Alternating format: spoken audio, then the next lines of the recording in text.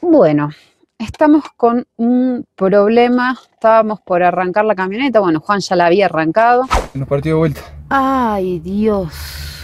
Esta ruta me da bastante miedo, no por nosotros, pero sí por los vehículos que pasan rápido. Hoy cumplimos nueve años de pareja, de los cuales cuatro y medio, exactamente la mitad, viajando en este motorhome.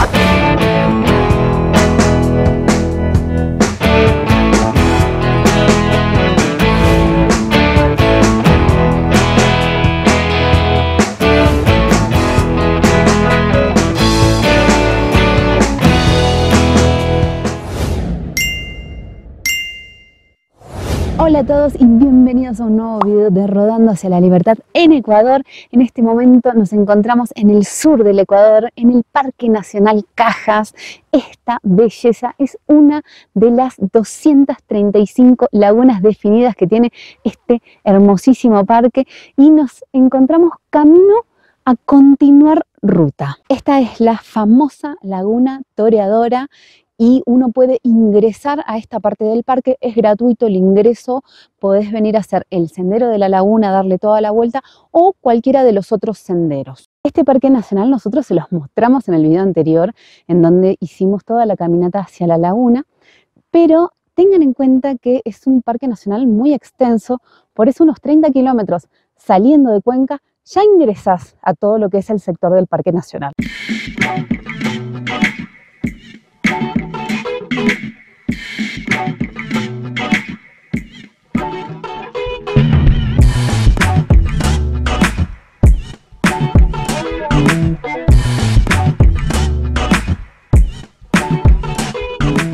Y a medida que vas recorriendo la ruta E582, vas pasando por diferentes senderos en donde puedes pararte, ir, caminar y recorrerlos. Recién cuando llegamos no había lugar en el estacionamiento del parque, así que dejamos la mercha acá y Juan se quedó adentro.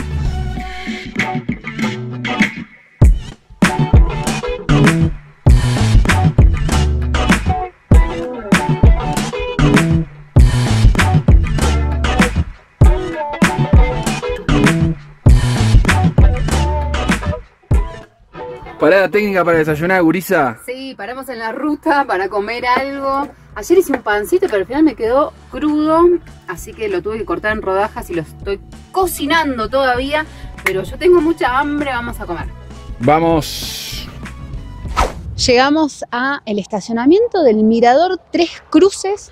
Vamos a hacer un senderito. Ah, es un sendero largo parece. No, es acá no va, vamos a ir al mirador nosotros. Ah, vamos a hacer el mirador nomás. Mirá, altura 4167 metros. Ya estamos re altos, muy concurrida la ruta, pasan vehículos todo, todo, todo el tiempo. Bueno, vamos. Y mucho turista. Mucho turista, mucho colectivo de turista también, Sí, micro. na- nacional e internacional. ¿Te acordás de los alerces de la Patagonia? Sí, pero esto, esto posiblemente sea familiar de los alerces, del tabaquillo también, porque es muy similar a las características que tiene el tabaquillo, que tiene estas capas de afuera como si fuesen capas de cebolla, que justamente lo que hacen es proteger al núcleo del árbol. Y mm, es muy importante que cuando uno ve estos árboles así tan bonitos, no les saque pedazos, porque justamente lo que hace es desprotegerlos y así los deja como, como desnuditos. Ah, acá tenemos un sendero para allá, otro para ahí. Ah, son todos miradores igual, ¿eh? Hay miradores por todos Oh. lados. Y ahora se tiene una perspectiva, ¿cómo decirlo? Más grande de todo esto que decía Boca. Hay un montón de lagos, hay lagunas por todos lados. Mira, allá hay una, allá hay otra, allá hay otra, allá hay otra, allá hay otra. Una panorámica. ¡Wow! No. Wow, qué paisaje épico. Qué frío que hace también. No sabes si tenía frío o si lo quería hacer rápido. Esa una panorámica, ahí está la merche. Acá se ve la ruta, toda la cuesta que venimos haciendo. Y otra otro mirador panorámico tremendo, espectacular.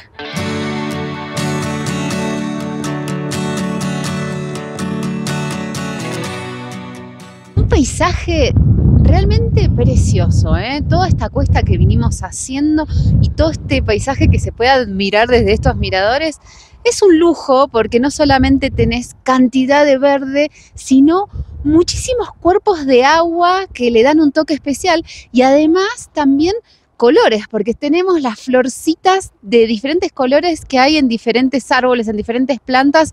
Lo hace un paisaje único, realmente único. Estamos muy felices de poder de poder disfrutarlo, de poder ir parando despacito en la ruta, porque ya hace días que estamos en el Parque Nacional, es muy extenso y, y queremos aprovecharlo hasta el último momento.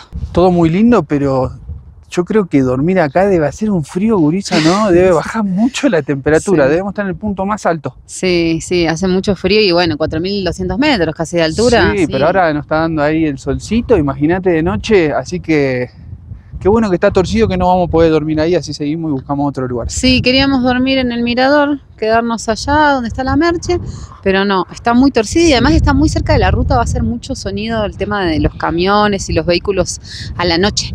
Sí, pero seguramente vamos a encontrar otro lugar hermoso porque no tiene desperdicio esta ruta. A ver si pueden observar todos los cuerpos de agua. Son cientos, ¿eh? porque en, en pequeños pedacitos ya se ven 3, 4, 5, 6, 7.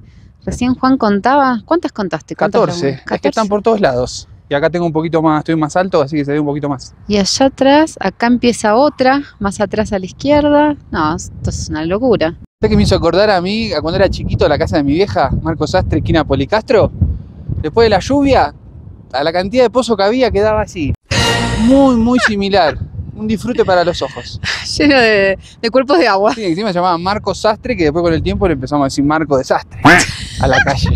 Finalmente llegamos al lugar que le da el nombre a este mirador. Llegamos a las Tres Cruces y hay leyenda, por supuesto. Cuenta la leyenda que antiguamente varios viajeros que llegaban a la zona morían por las bajas temperaturas, morían de frío. En memoria de esos difuntos, las personas que llegaban aquí rezaban un Padre Nuestro. Luego de haber rezado ese Padre Nuestro, como para dejar constancia de que lo habían hecho, dejaban una piedra adelante de las cruces, no solamente eh, dejando constancia de que habían rezado ese Padre Nuestro en memoria de las almas de aquellos difuntos, sino que también pidiendo protección. Y es por eso que uno cuando se acerca aquí ve que hay cantidad de piedras adelante de estas cruces. Pónganme en los comentarios si conocían esta leyenda. Creeríamos que en realidad se tenía que ingresar por aquí. Una vez que ingresás por acá, pasás todo por estas barandas, bajás y ahí vas a salir al primer mirador y al segundo mirador. Nosotros hicimos todo al revés, pero no quita que sea igualmente de espectacular la vista que hay en estos miradores y que no importa en el orden en el que lo hagas, es hermoso igual. Bueno, estamos con un problema, estábamos por arrancar la camioneta, bueno, Juan ya la había arrancado y le estaba purgando un poco el aire que tenía al embrague y no solamente nos quedamos sin embrague, sino que se desarmó, se desarmó por completo el embrague. ¿Se desarmó? ¿Se desarmó, ¿Se desarmó el embrague? Se desarmó el embrague. Pasame esa banderita que está ahí. Embrague. No, Ya se había desarmado en Chile, ¿te acuerdas sí, pero no en una cuesta, No. en el medio de la nada. Así que aprendí a... Ese día estuve como dos o tres horas sin poder resolverlo hasta que lo resolví. Ese día aprendí. armarlo. Así que ahora Juan está en la lucha de tratar de volver a armarlo porque no tenemos señal, estamos a 4.200 metros de altura sobre el nivel del mar, así que bueno, está ahí en esa lucha.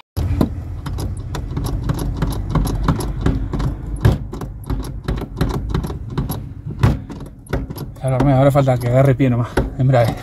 Bien, bueno, hermoso. Armé. Con lo que estuviste renegando para armarlo, lo armaba y se le desarmaba, lo armaba y se le volvía a desarmar. Es que son las 5 de la tarde, está todo oscuro y parece que nos quedamos todos sin pila con toda la linterna. Sí. Tanta linterna que tenemos. Tomate un cafecito, hermoso.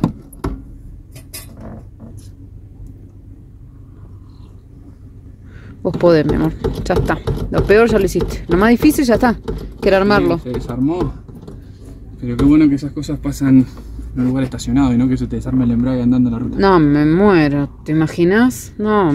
Como finalmente el tema del embrague no lo pudimos solucionar, nos tuvimos que quedar a dormir eh, en este estacionamiento. Nos vamos a quedar a dormir, en realidad todavía no nos acostamos.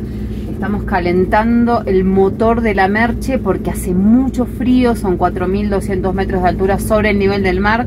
Cuanto más altura, más frío, menos grados. Así que estamos acá calentándolo un poco para que mañana no le cueste tanto arrancar y bueno, mañana con la luz del día veremos cómo continúa todo este asunto. Pasan muchos vehículos por la ruta, pero yo creo que igual no se va a escuchar tanto de nuevo. Buen día, buen día. Miren cómo amanecimos en este patio.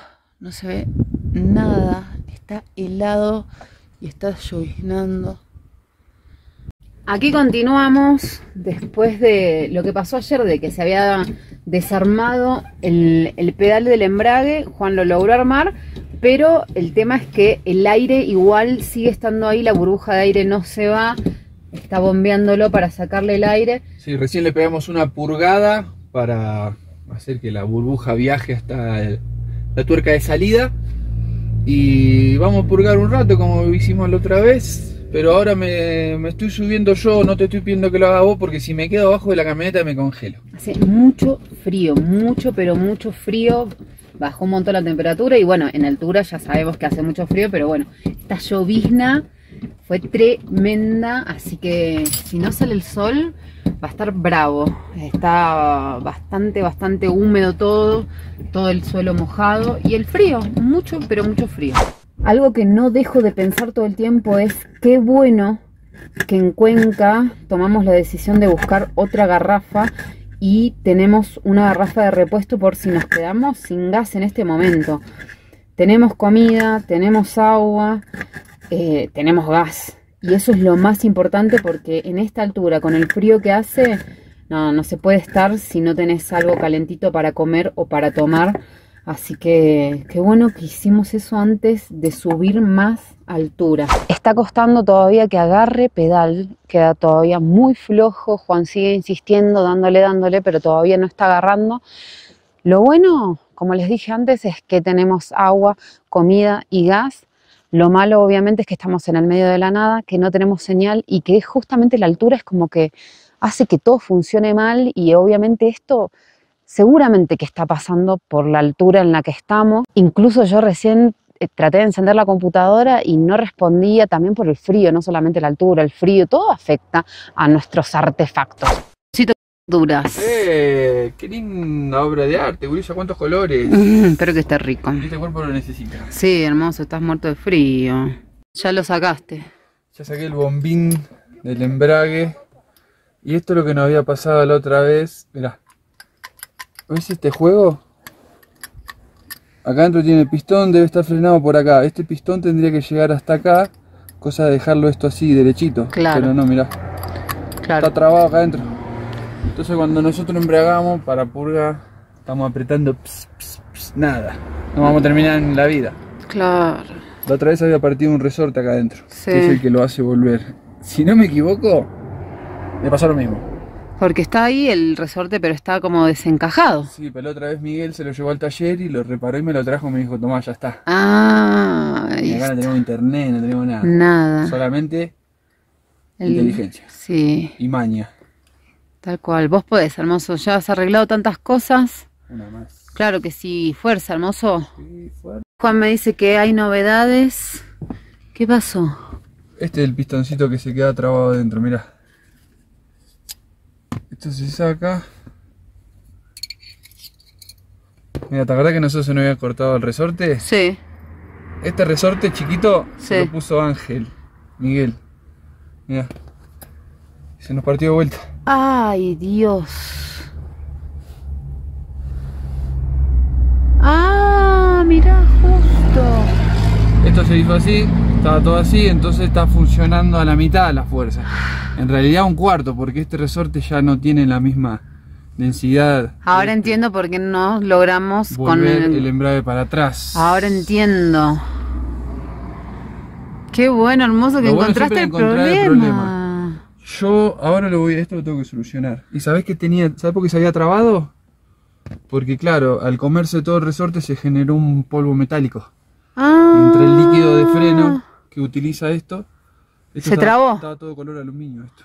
Ah. Que eh, eso estaba todo lleno de negro. Sí, todo lleno de metal. Ah, eh, líquido de freno con polvo metálico. Wow. Bueno, hermoso, qué alegría que encontraste el Mm, ya lo problema. desarmo sin miedo. Ay, qué bueno. Tengo que pensar de dónde saco un resorte así. Bueno, vamos a pensar, vamos a buscar en la casita. Algunos centímetros más tarde. Encontraste un resorte. Sí, encontré un resorte chiquitito así, lo estiré y estoy viendo a ver si lo voy a modificar como para que cumpla la misma tarea que el otro. Claro, que vuelva, que es lo más importante. Tengo otro resorte, viste que nosotros habíamos comprado los cables para los frenos traseros. Sí, Que compramos el cable de freno a mano y sin querer nos mandaron lo de los costados. sí. Esos dos cables tienen un resorte en la punta también. Mm. Pero tendría que cortar el cable y Y, olvidarme. claro. En estos casos de, de Y emergencia. sí. Y además, Y de ¿hace cuánto que lo tenemos ahí? Lo quise hacer con este, pero es muy rígido, muy duro. No vuelve. No vuelve. Corté el del freno que teníamos y lo corté a medida, lo abrí un poco para que pierda rigidez. Ah, bien. Triqui tucu tucu.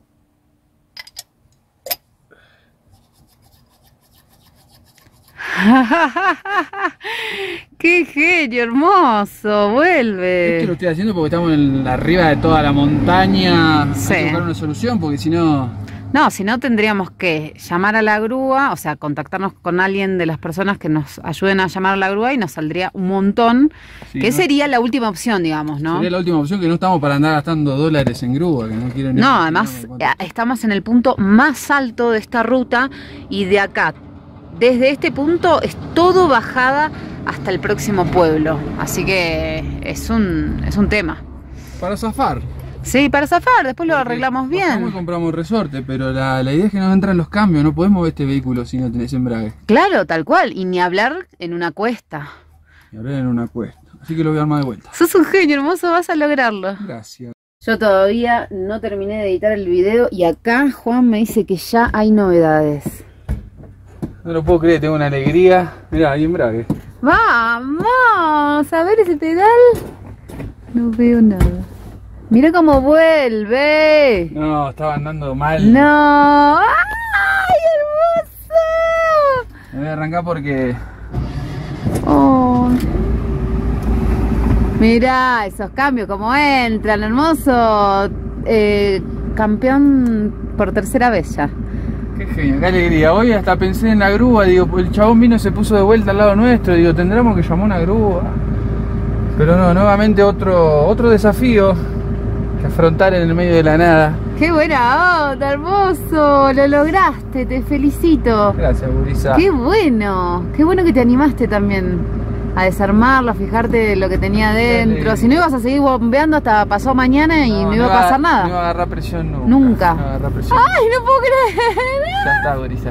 Ya tenemos todo preparado para salir a la ruta, ordenamos la casita, yo enseguida guardé la computadora, después terminaré de editar el video y vamos a hacer 30 kilómetros en bajada, porque como les decía, este es el punto más alto de la cuesta. Ahora sí, ¿eh?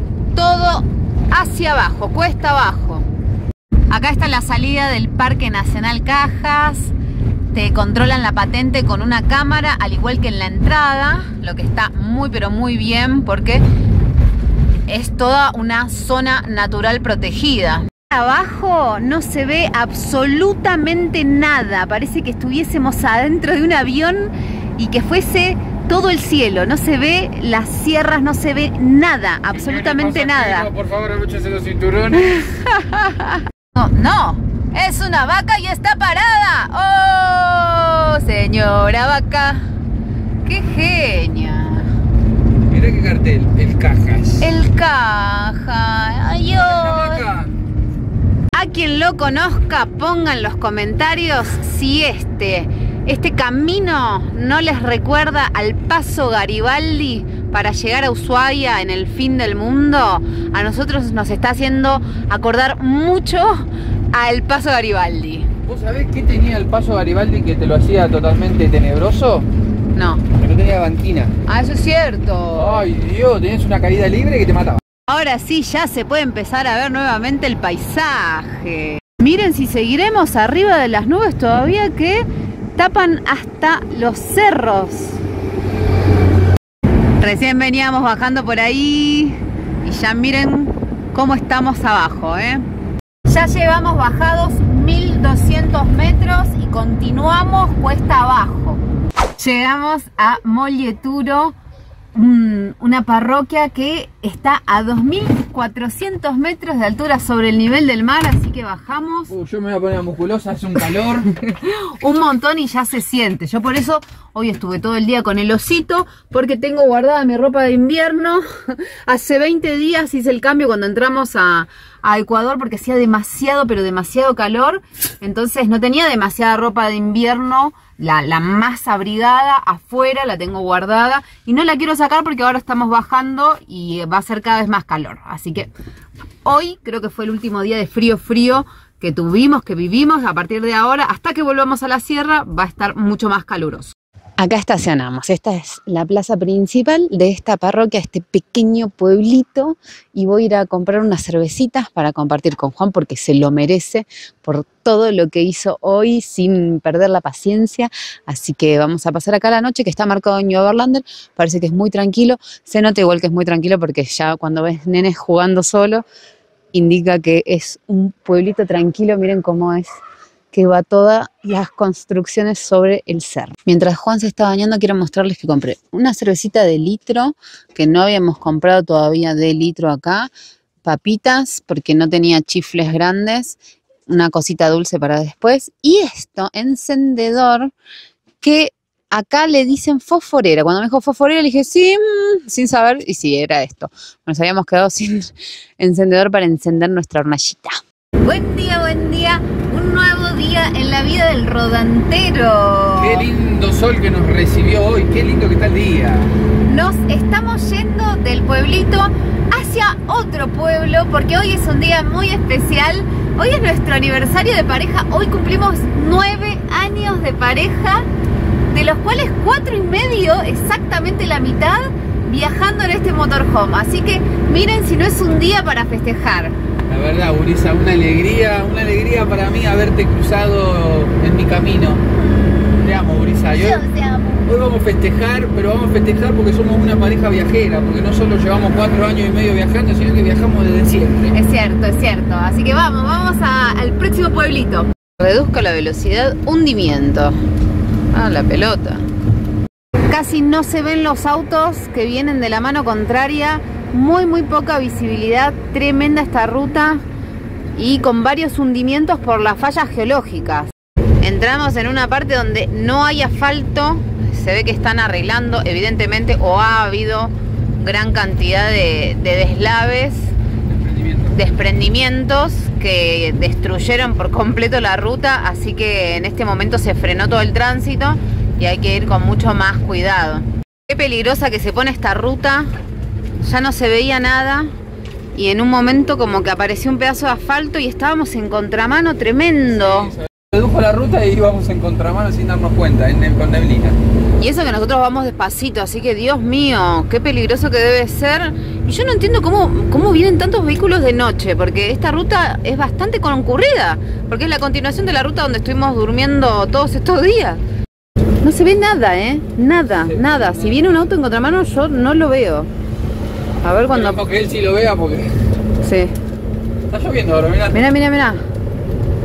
Nada, y por, por, por esto Ah, bueno, hay una curva, evidentemente. o desapareció. O desapareció la camioneta. No, es terrible esta ruta, ¿eh? Vengan con mucho cuidado porque es súper peligrosa. Calculo que estos vehículos obviamente se la saben de memoria, pero igual no deja de ser peligrosa porque no ves lo que tenés adelante a muy pocos metros. Esta ruta me da bastante miedo, no por nosotros, pero sí por los vehículos que pasan rápido y se pasan y se pasan en contramano y como ven no se ve nada. Entonces no ves si viene un vehículo o no en contramano, apenas se ven las luces. Mamita, ¿eh? ¡Qué ruta! Sí, es peligroso para todos, peligroso para todos, porque si les pasa algo a ellos, nosotros venimos atrás y si llega a ver algo frenado, Sí, ya lo, ves cuando lo tenés lo adelante. cara. Claro. Nosotros vamos de vuelta 20, 25 con baliza.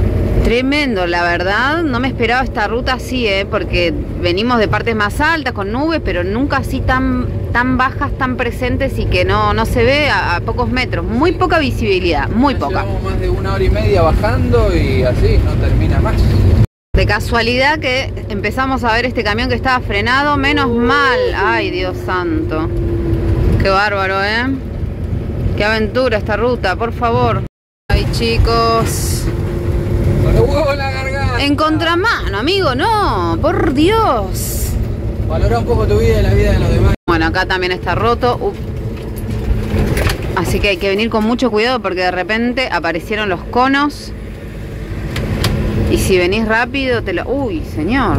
Este viene a las chapas y sin luces. Bueno, es un camino que hay que venir con mucho cuidado para hacerlo. Lo que sufrimos con esa ruta, por favor, a mí se me hizo interminable, pero bueno, ya llegamos a tierra firme, a un lugar seguro. Estamos en un poblado, en una parroquia que se llama Aguas Calientes, en honor a todos los baños de agua termal que hay por aquí. De hecho, nosotros estamos en uno de los balnearios donde vamos a acampar, vamos a pasar la noche. No nos vamos a meter a la pileta porque ya están por cerrar. Las piscinas cierran en- a las 6 de la tarde, pero sí lo que vamos a aprovechar es la parrilla porque vamos a hacer un asadito. Bueno, vamos a hacer carne a la parrilla. Pollo específicamente a la parrilla para festejar estos nueve años de pareja y que salimos sanos y salvos de esa cuesta que Dios mío, qué miedazo que me dio. ¿eh? Hoy a la mañana pensaba en hacer tantas cosas y cuando estábamos ahí arriba de la cuesta, lo único que pensaba era en llegar a algún lugar en donde se viera el suelo, nada más. Así que miren cómo van cambiando las cosas en la vida del viaje. Hace un montón que no hacíamos un asadito, que no estábamos así en parrilla. ¿Cómo está hermoso? ¿Cómo Oh, va quedando? Qué gana que tenía de prender un poco de fuego. Vos. Oh, ni te cuento, ni te Sí, cuento. Para nosotros- nosotros estar en la parrilla alrededor es... Claro, no solo prender fuego, sino que tirar un poquito de carne. Mirá, Claro. mirá, mirá lo que es este pollito. Pollito. Oh, mirá qué color hermoso. Mirá cómo va. ¿Viste que lo- Nosotros a esto le decimos pata, muslo, y esto es la parte de, la pechuga. de la pechuga. que le gusta a la tía Isabel. Eh, claro, tiene este color porque lo dejamos con aceite de oliva y mostaza. maridando o marinando. Y este morroncito, como Marinando. No, teníamos papel aluminio, igual lo hicimos, mira. Sí, hic- hicimos Mirá otra técnica. Ah, tremendo. Y para mostrar la garrita esta. Ah, y este también. Ay, la mierda. ¿cómo Quema, quema, quema, quema. Qué es esto. Esto te lo vas a comer vos. crocante, crocante. Qué rico. y esto que te pasaste, Pancito. amasaste No, recién en dos segundos. Tremenda. ¿Qué más puedo pedir? No. Feliz aniversario, Gris. Me encanta, hermoso este lugar. Mm. ¿Y vos qué querés? No porque no me dejaste acariciarte. Mira la cara. Lo que está esto. Vamos a empezar a picar un poquitito. Mira que son las garritas estas. En Argentina no, no estamos acostumbrados a consumirlas así. Me encanta que estamos a plena salsa. Hoy hay festejo. Voy a mandarle un flor de saludos a Nilda Molina. Gracias por tu mensajito. Beso grande para vos. Si vos querés participar del flor de saludo, tenés que dejar un mensaje abajo de este video de YouTube, pero no te olvides, tenés que estar suscrito al canal, así que si todavía no lo hiciste, clic en la palabra suscribirse, así empezás a formar parte de Rodándose la Libertad. Gracias por acompañarnos y nos vemos pronto en el próximo video.